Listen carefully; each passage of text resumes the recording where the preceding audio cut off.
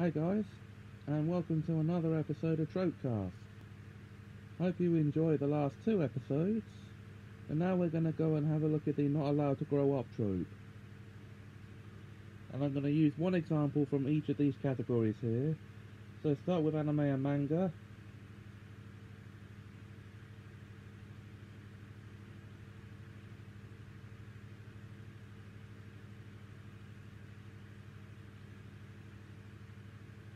And let us go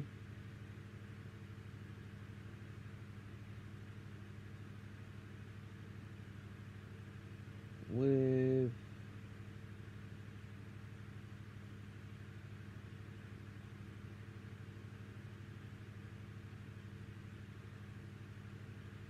Pokemon. Ash and Pikachu seem to have fallen foul of this a lot, to the point of being the page image of this. Ash has been declared as still being 10 years old at the start of Be- Best Wishes Black and White, Season 14 outside Japan. This was said in the original Japanese as well. Pokemon Volcanion and the Mechanical Marvel also confirmed he's still 10. Former storyboard artist Masamitsu Hidaka explicitly said in this interview that Ash and his friends remain their respective ages for as long as the show is on, however many years that may be. To make things more confusing, Ash in the dub only noted that the one year anniversary of him and Pikachu meeting you noted that and even more confusing in the both the English and Japanese versions where Ash's voice has deepened in a a lot in the later seasons. It has happened in many other versions as well, which cast kids to play Ash's role back in 1998 1999 but said kids have since aged but remain doing his voice. Okay.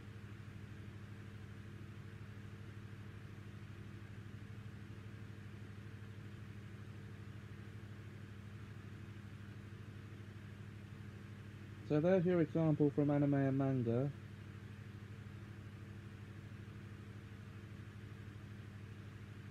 Next is Asian animation It's kind of the same thing. Happy Heroes takes place on a planet where ridiculously human robots capable of aging are very easy to come across.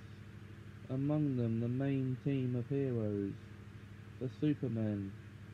There are also plenty of human aliens, such as the Superman's non-biological father, Dr. H. The show has been on the air for almost a decade and none of the main or major characters, mechanical or organic, have displayed any signs of aging.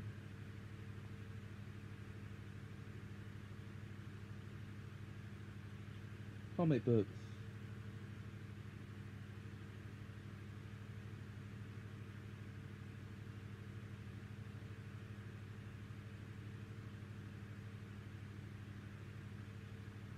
In Ultimate Spider-Man, Peter has been roughly 15 or 16 since the beginning.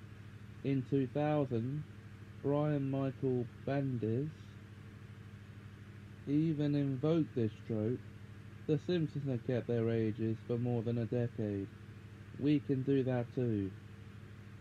He plans to have a hundred issues equal one year, and if Spider-Man lives that long, he will eventually be old enough to drink of course it became academic when and there's a blank there so yeah.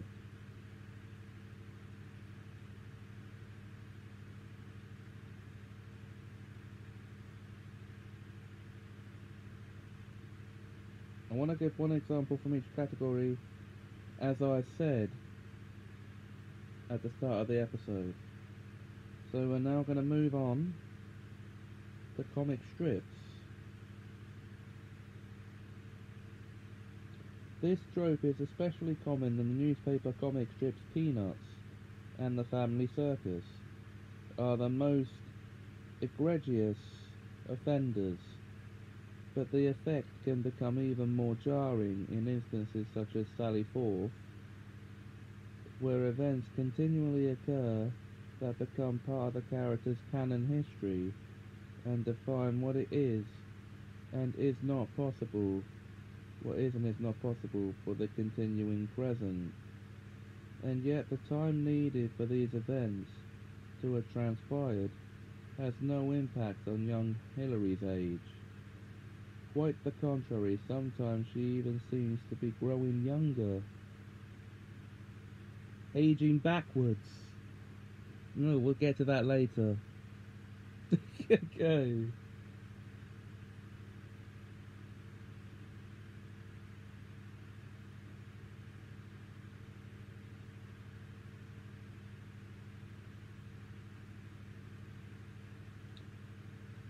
But until then,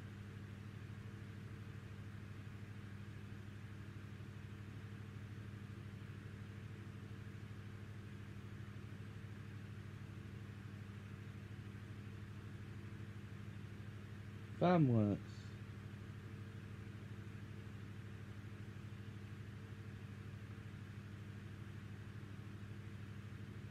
Because everyone is caught in a time loop, no one ages in the infinite loops. Loopers, however, do consider themselves to age from when they first awaken, so this is played with. Okay, animated films.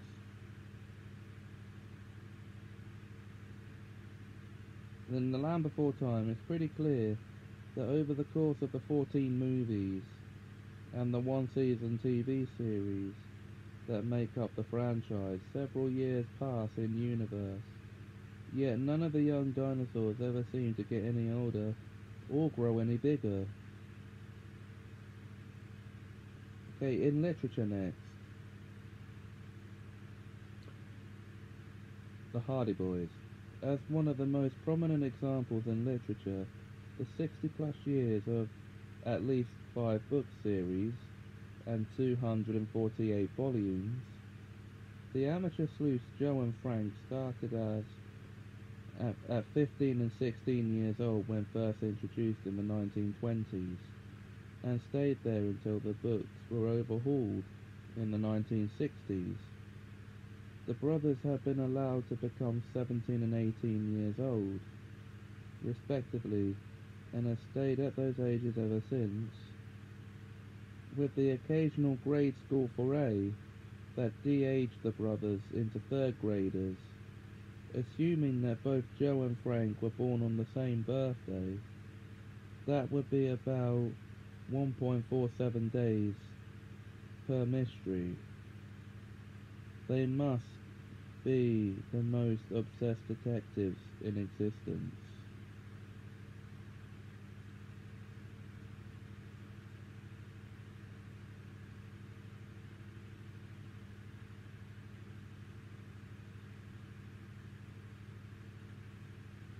Okay.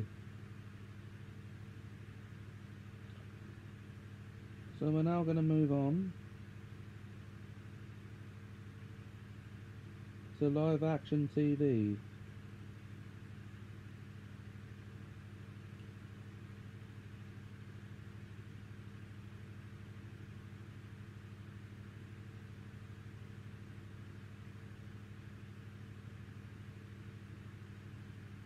Emmanuel Lewis, the star of Webster, was 12 when he started playing the title role and 17 when the show ended. His character aged only three years during the show's six-year run, from 5 to 8, so from age 5 to 8.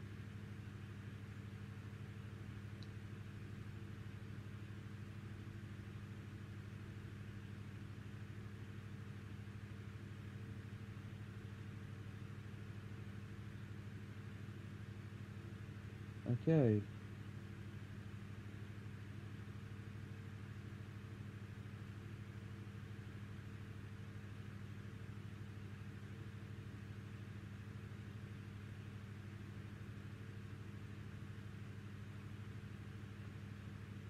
In music,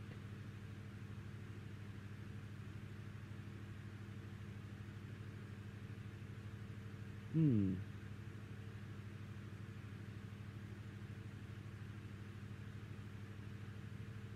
You know what, I think we'll just skip that one, so go into radio. Connie Kendall in Adventures in Odyssey was an example for many years.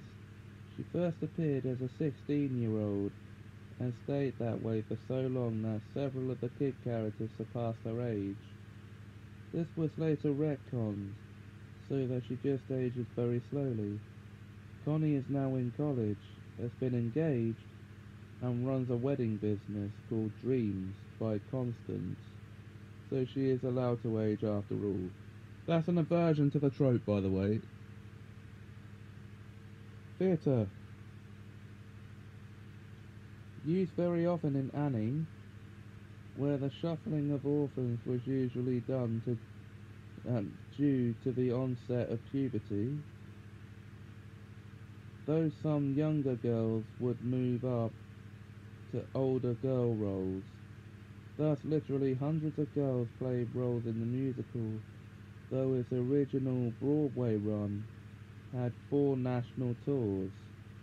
The documentary Life After Tomorrow interviews quite a few of the women who appeared in the original run, many of whom cited their last show was the worst day of their lives. I guess that's a bit of a stretch. Video games. Drakengard in Seere, a six-year-old boy who made a pact with a golem creature. The price for the pact was being unable to grow up. In Drakengard 2, he is now 24 years old but still looks like a little boy.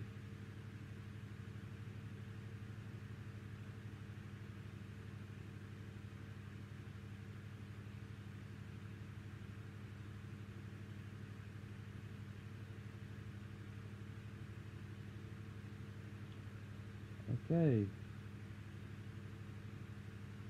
Web animation.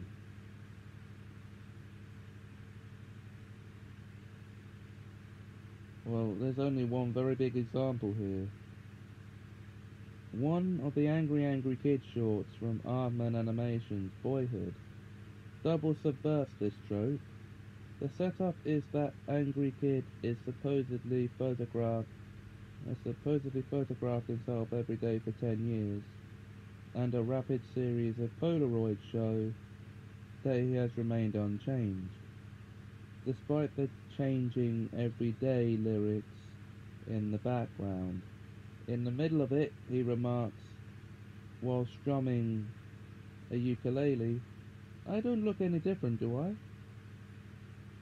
It seems to hang a lampshade on the fact that the series itself vanished for 10 years then, and then reappeared with an identical character, despite a significant change in animation techniques. But then the photos continue and Angry Kid gradually starts growing facial hair. It may take a second or two to notice that it's actually drawn on his face in pen. In the end, we return to the ukulele shot, where the kid now sports a full handlebar mustache, and he argues with an unseen spectator that no, it is not scribbled on, it totally is. Webcomics.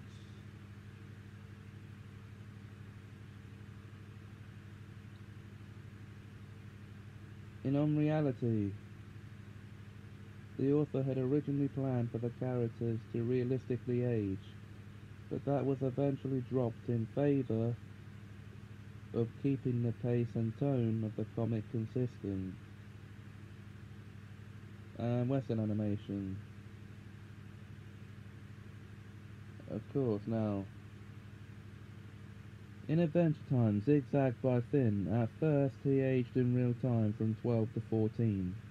The staff apparently realised the show would last quite a while, so he spends the bulk of the series 8 years at 15.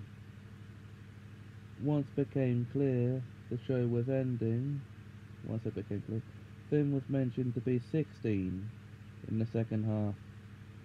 in the second to last season, and turned 17 in one of the last few episodes. Inverted with Jake's kids, who, due to their magical hybrid genetics, age into adulthood over the course of a few weeks, freeing him up to be Finn's roommate again.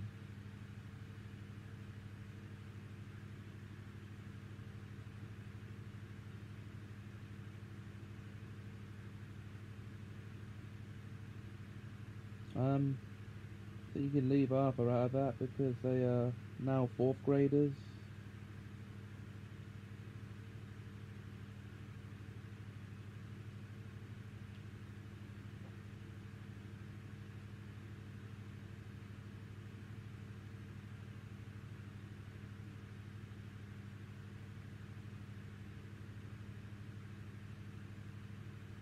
Anyway, I think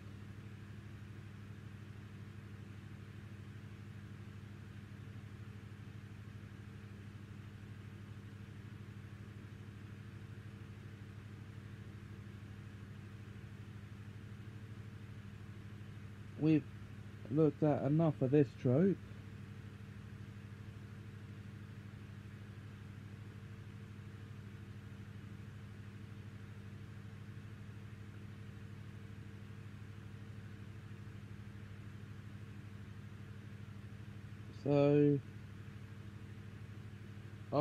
The next category to be let's go for one under the A's. We'll go with